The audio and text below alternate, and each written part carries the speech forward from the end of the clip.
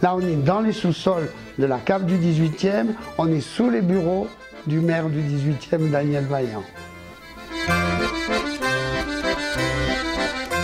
Le raisin arrive dans la cave, amené par les jardiniers, juste après la vendange, qui dure à peu près une toute petite demi-journée. Il y a des Montmartrois qui viennent nous aider, il y a des habitants de Montmartre qui viennent nous aider pendant les vendanges. Donc il y a cet appareil en inox qui est là-bas, qui est le fouloir et grappoir, d'accord? Donc la vendange est foulée et grappée. On la met ensuite dans cette cuve à macérer, d'accord?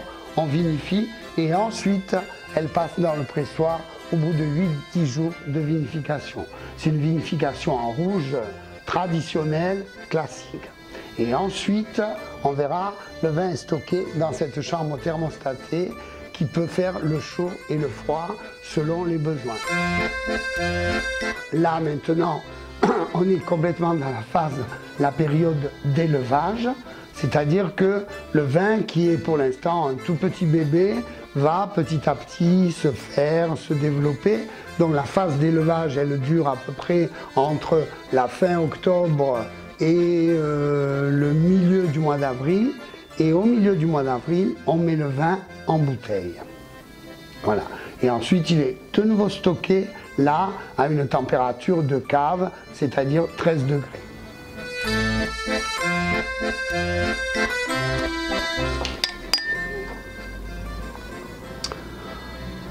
Millésime 2011, cuvée gourmandise. La plus belle conquête pour moi sur ce vin, c'est la couleur.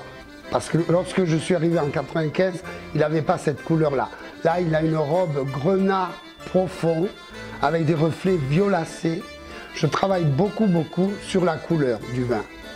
Alors, il s'agit euh, bien sûr d'un vin jeune, extrêmement jeune pour l'instant, qui a complètement encore les défauts de sa jeunesse.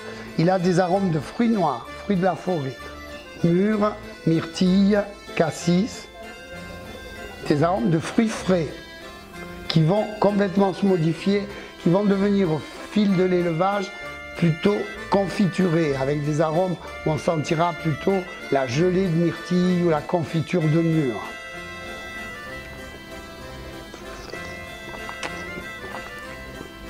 Il a une petite attaque un peu pointue en bouche. Ça, c'est la grande caractéristique du vin de Montmartre. Il a ce côté aussi un peu sauvage, mais qui va s'estomper durant l'élevage. Et on le mettra en bouteille au mois d'avril, et là, il sera consommable. Belle finale, à consommer avec modération sur euh, donc des charcuteries des grillades, charcuterie corse, charcuterie basque, des belles grillades ou même des volailles à chair foncée comme le canard ou la pintade. À votre santé